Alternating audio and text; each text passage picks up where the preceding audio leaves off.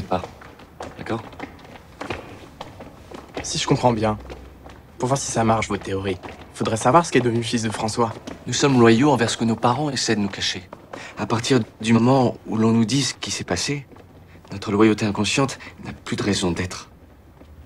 Le secret est plus traumatisant que la vérité. Au revoir, monsieur Maréchal. Vous êtes le fils de François, n'est-ce pas? Des Antoine Maréchal, il y en a plein les pages du potin.